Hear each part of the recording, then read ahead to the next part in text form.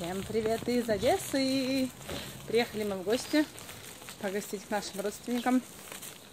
Знаете, первое ощущение нету такого вот впечатления, что нас тут года не было. Людей видишь, конечно, чувство есть, что соскучился. Ну вот по городу самому, по местности. Как-то как будто мы тут, ну месяц не были, ладно, максимум так. От чего сразу были в шоке? Это от дорог. Это просто ужас. Особенно Винницкая область. Просто ехали какой-то участок 10 километров в час, потому что объезжали ямы. Машина просто на бок становилась, чтобы объехать эти ямы. Это ужас. Мы по дороге потери... оторвался у нас фартух спереди под бампером там машины. Еще защита глушителя тоже там на соплях висит. Короче, дорога вот такая вот. Ехали мы э, 9 часов с Варшавы в Хмельницкую область к бабушке моей. Там мы у нее переночевали. Э, на таможне 2 часа простояли, в принципе, небольшие там пробки были, просто такие уже процессы, там паспортный контроль, долго это все было как-то. Вот, и переночевали у бабушки нашей, и потом оттуда еще 9 часов ехали в Одессу. Э, хотя можно было, конечно, гораздо быстрее, но я же говорю, дороги просто, просто ужасные были. А, ну вот, так что я сейчас бегаю тут с друзьями, видимся, с родственниками. Буду держать вас в курсе, рассказывать что-то интересное. Мы на море. Море, конечно, круто. Теплая вода. Хорошо попали мы. Пирс, видите, о чем я и говорила в каком-то своем видео. Очень убогий, ободранный. Хорошо, что в будние дни мало народу. Ну, видите, какие у нас пляжи. Все в шезлонгах, очень меня это раздражает. Я принципиально никогда на шезлонге не лежу, потому что это неправильно, так не должно быть, должен быть пляж. Ну а за морем мы, конечно же, скучали, это круто. Это круто, конечно, в Польше нам этого не хватает. Балтийское море холодное, купаться там невозможно, а у нас тепло и классно. Ну, есть у нас наше море в Одессе, куда мы всегда можем приехать. Круто.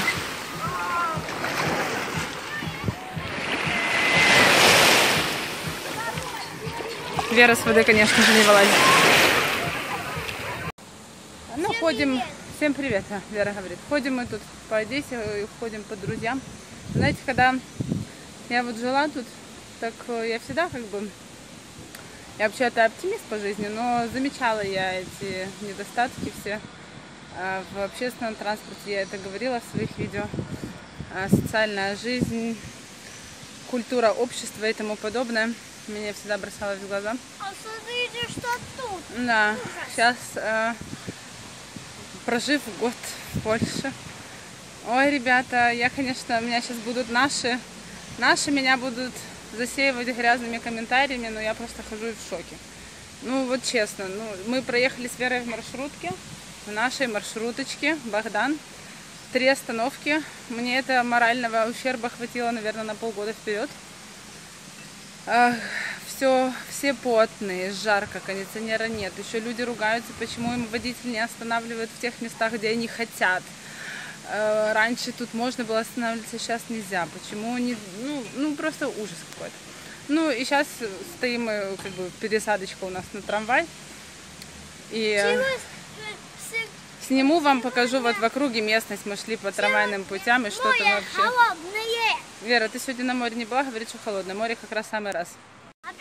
Ну вот, трамвайные пути, частный сектор, нормальный жилой район жилой такой район. Посмотрите, груды мусора. Дальше трамвайная остановка. Вот Вера сидит на трамвайной остановке. Вот грязно. Естественно, нигде вот мы идем, просто вот и в шоке от тротуара. Вот тротуар, по которому люди должны ходить. Ну и там его тоже, соответственно, нет. Ну нет, это просто, просто земля. Ну да, мне кто-то скажет, что я не вышла на какую-то центральную улицу. Я не спорю, я не на центральной улице. Там центральная улица за гаражами. Гаражи, кстати, да, прекрасно. А тут идет трамвайный пути. Ну тут же частный сектор. Тут же люди живут. Притом там дома такие не из бедных. Я не сказала бы, что это какой-то сильно бедный район. Ну, ну вот так вот. Вот сами видите. Минут 20 мы искали урну, мусорку, чтобы выбросить бумажку. А, очень редко. Разметки вот нету. Вот смотрите, разметка. Где? Разметки по городу, в принципе, нету на дорогах. Это я так, знаете, прожив в социально-культурной стране, и где порядки есть, где, где для людей все сделано, это сильно, вот честно, вот очень бросает в глаза. Тем не менее, люди добрые, люблю Одессу, моя Одесса, это, это мой город. Просто вот я поняла, что в следующий раз летом я уже вряд ли приеду, надо приезжать в мае месяце, очень жарко тут. Муж мой сегодня говорит, что в, Оде... в Варшаве 15 градусов, я говорю, я завидую. Но я вам хочу так сказать, что-то доделают, что-то меняют, делают. Вот смотрите, сзади меня это наше управление Райно местное. Раньше оно такое было убогое. Сейчас отреставрировали и плиточку везде положили. Новую дорогу, асфальт, везде все новое. И делают вон клумбочки красивые. Что-то делают в центре города. А, вообще там парки тоже такие красивые у нас сделали. А, ну, не стоят на месте. Это уже приятно стараются что-то. Ну и подружки мои рассказывают, что вот они видят, как дороги переделывают, асфальт перекладывают, трамвайные пути. Моих родителей в старом доме вообще лифт меняет вот в данный момент. Шок. Приятно. Ну вот, э, кто знает, там с 1 апреля тоже э, в Украине нужно записываться заранее к профильным врачам. Ну и как я слышала, что уже чуть ли не два месяца, на два месяца вперед запись. Ну, как в Польше, соответственно. Ну, у меня очень давно ухо там беспокоило еще с марта месяца. Я хотела записаться в Варшаве. Так запись была с марта месяца на июль месяц ближайший. А я не пошла, так уже пользуюсь случаем, пошла тут. Записалась быстро, сегодня на завтра. Ну, пришла к врачу, он мне ничем не помог, сказал, что это не наша часть. Идите Э, к невропатологу, это, скорее всего, там воспаление нерва какого-то травничного. Ну, неважно. Ну, как бы там ни было, быстро записалась. В этом плане вопросов не было. И еще пошла, сдавала анализы э, в частной клинике, э, лаборатории. Это Синево, но все знают, наверное. Так тоже приятно, так они уже усовершенствовали, сдали мне гематогенчик э, после анализа молодцы. Есть сервис хороший в Одессе. Я в продолжение темы. Ну, какие вот моменты, да, вот э, где-то хорошо, но дома лучше. Все-таки, когда у тебя все налажено, здесь есть свои врачи, к которым ты можешь прийти поболтать, с которыми ты уже там много-много лет знаком. Это немного, да, отличается от того, что а, к чему-то сейчас вот да вот мы приехали как бы мы только знакомимся я себе нашла там женского врача. Ну она еще надо время чтобы да чтобы привыкнуть. Пришла к своей Оксане Владимировне поболтали мы сели с ней. Ну в общем в 20-ю поликлинику захожу нашу меня там уже все знают. О давно не было. Ну это я еще такая что люблю ходить по поликлиникам. Ну, как бы там ни было. Нужно нужно время чтобы наладить такую, да, вот жизнь э, там вот нам в Варшаве, чтобы э, ты себя чувствовала, когда в своей тарелке в каких-то вопросах. Ну, я сейчас вот, допустим, про медицину говорю. Ну, мы, одесситы, еще такие, что нам лишь бы поговорить. Поэтому для нас очень важно, чтобы, ну, мне, по крайней мере, да, мне очень важно, чтобы со мной разговаривал врач, да, задавал вопросы не только а конкретно там ситуация, по которой я пришла, а и в общем какие-то состояния здоровья. Было рассказать главный, важный пункт. Мы же на машине приехали. Э, на таможне выезжали мы через Волынскую область. На таможне мы спросили, сколько дней мы транзитом на нашей машине с польскими номерами можем находиться. Напоминаю, машина зарегистрирована на нас, на мужа моего. Сказали, если вы выезжаете из той же Волынской области, то находиться на территории Украины вы можете 5 дней. Если мы выедем из другой области какой-то, а, даже Львовской, да, допустим, то 10 дней. Но мы хотели, так как мы хотели дольше побыть, мы спросили, у таможенницы, а, можем ли мы выехать э, через, допустим, молдавскую границу и заехать обратно. Начнется ли заново отчет, то есть 10 дней, когда мы выедем, и заново начнется отчет, когда заедем обратно. Она сказала, да, вы так можете сделать. Ну, так мы и сделали. Муж мой поехал на молдавскую границу. А, муж поехал мой на молдавскую границу. Там не от Одессы недалеко, он там буквально за два часа справился туда-обратно. Значит, он приехал, ему еще сказали, что вы так рано едете, у вас там еще один день в запасе есть. Ну, он говорит, так, так вышло, так получилось по времени у нас.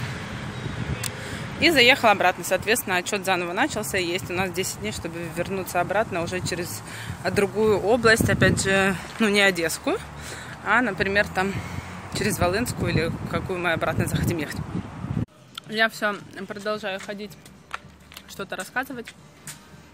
Вот сидим мы у нас в дворе. Вера там бегать. Хотела показать, как бы... Упс, извините. Вера, скажи привет всем. Привет! Угу. Вот наши детские площадки, да? Вот я хожу своим девочкам, подружкам, рассказываю. Видите, тут наш дом. Да, хожу девочкам, всем рассказываю разницу между польскими детскими площадками и ну, украинскими. Вот все вот в такой поверхности, да? А смотрите, там колеса. Да, там колеса, ту мы площадку вообще сами делали, Вера, помнишь, красили все. Смотрите, как тут надо на колеса. Да. Веруш, молодец. Ну и вот никакого, никакой поверхности нету, да. Слава богу, что асфальта, конечно, нет, но и мягкой поверхности тоже нет. В новых домах есть. Вот в нашей, там, где наша квартира осталась э, в новом жилом комплексе, там есть мягкая поверхность. Ну, а, естественно, в старых домах никто тут не усовершенствует это. Так оно и осталось. Эм, дом есть. Дом, как говорится, ну, вы знаете, мы когда только приехали сюда, нам казалось, что я не, не захочу уезжать. Я думала, что, ой, боже, так время быстро пролетит. Ну, сейчас уже вот э, нам еще недолго осталось э, находиться тут, и мне уже, честно говоря, хочется вернуться. Уже всех повидали, Ребята, со всеми увиделись. Я не знаю, чего мама не хочет говорить свой канал. Мой канал Паня Иммигрантка. Вера мне постоянно напоминает, чтобы я озвучивала его. А, ну вот, поэтому ходим Э, вот сразу начали кушать какие-то продукты, которым, на которых нам там не хватает. Вот одесский обеденный хлеб. Каждый день ходим, покупаем, нам его страшно просто там не хватает.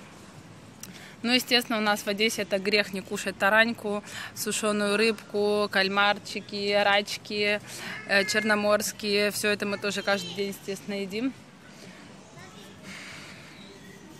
Вот. Э, не хватает лавашей наших, э, не наших, вернее, это грузинский лаваш. Э, в Польше я так и не нашла их. Что еще? Сладкие палочки, вот, да, вот наши вкуснее. Тоже ходим, едим это каждый день.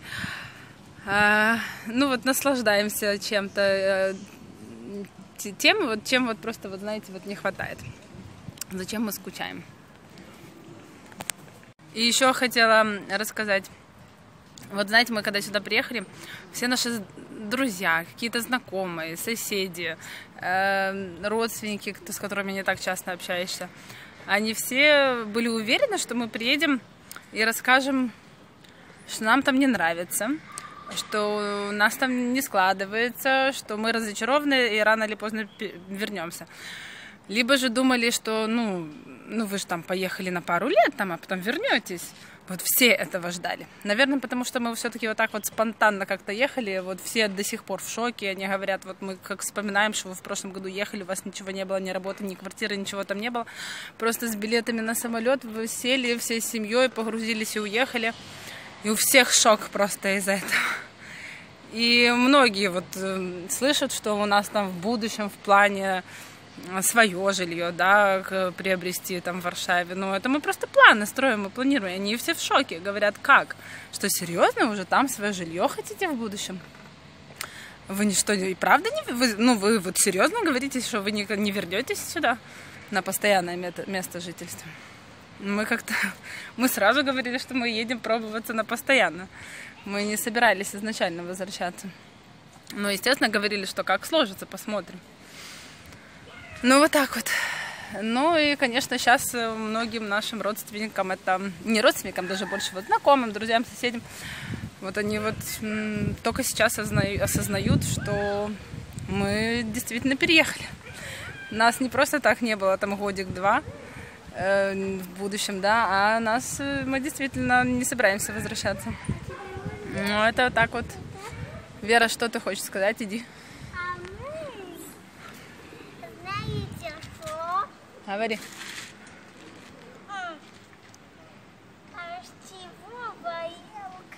такой смешной и хочет постоянно Вера, это не в тему. конфетку. За Валерку рассказывать. Вера, ты хочешь обратно вернуться в Варшаву? Но здесь бы хотела побольше побыть, да? Да? Ну а где хочешь жить? Хочешь тут остаться? Польша, В Польше? Польша, Польша? Польша. По... Польша! Не кричи. Ну да, она, конечно, тут ей весело. У нее с утра до вечера график расписан. Она с друзьями, с бабушками, с дедушками море. У нее нет времени вообще задуматься о каких-то там в каких-то других вопросах, о скуке или еще о чем-то. Она тут загружена не так, как в Польше, так честно скажу, конечно. Но она говорит, что я бы еще хотелось. В Польше мне нравится, что все по-польски говорят. Ну, Вера, ничего, это привыкнешь. Ты зато, а, да, она приехала, Вера, первое время, и тут со всеми по-польски говорила. Пришли в кафе, она на польском говорит, что она хочет заказать.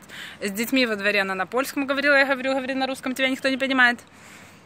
Так что, Вера, все дело привычки.